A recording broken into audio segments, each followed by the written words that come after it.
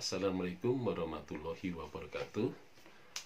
Orang sering kali memandang primordialisme ini adalah gerakan pulang kampung. Artinya, orang yang sudah berwawasan Indonesia itu sering kali malah kembali ke wawasan daerah. Dan kata mereka bahwa hal ini merupakan suatu kemunduran.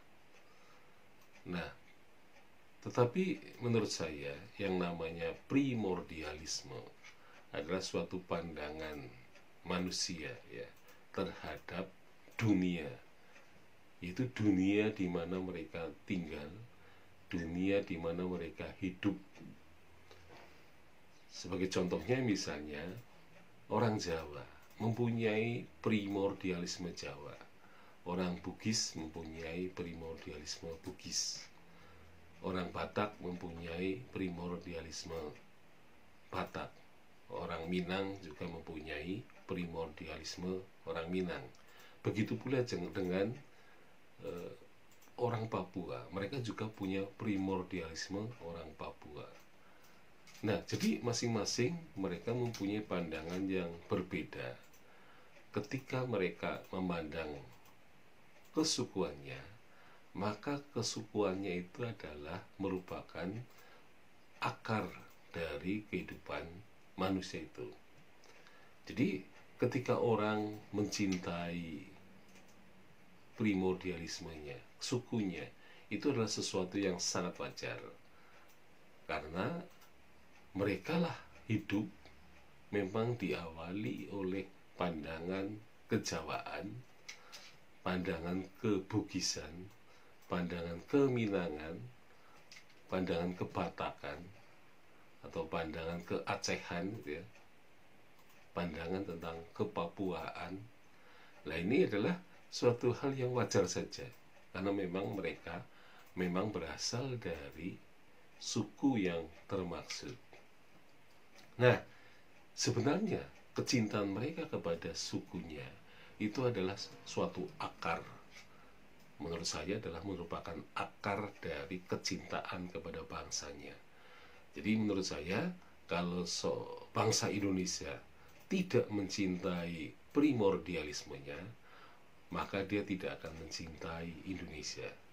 Justru karena mencintai sukunya itu maka sebenarnya orang Indonesia akan mencintai Indonesia sebagai bangsanya. Artinya, meskipun berbeda-beda, mereka bisa menerima kenyataan bahwa yang berbeda-beda itu adalah saudaranya sendiri. Ya, pada dasarnya mereka adalah masih satu keluarga. Maka istilah keluarga atau kulowongso ya, atau bangsa katakanlah bangsa saya itu adalah Indonesia. Tapi suku saya, ya suku itu adalah kaki. Jadi di dalam tubuh manusia adalah ada kaki. Nah kaki itulah yang disebut dengan suku. Suku dari keluarga. Jadi merupakan bagian dari keluarga yang tidak bisa terpisahkan. Jadi orang Jawa sebagai bangsa Indonesia adalah tidak terpisahkan dengan saudaranya, saudara-saudaranya sendiri. Yaitu orang Aceh, orang Batak, orang Minang, orang Lampung, orang Riau, ya, orang Melayu, ya. kemudian juga orang Sunda, orang Bugis, ya, orang Papua dan sebagainya, orang Ambon dan seterusnya.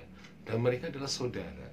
Nah, sehingga kalau orang mencintai sukunya, itu adalah sebagai akar dari nasionalisme. Jadi nasionalisme berakar dari rasa cinta kepada sukunya masing-masing dan akhirnya mereka saling mencintai sebagai bangsa Indonesia.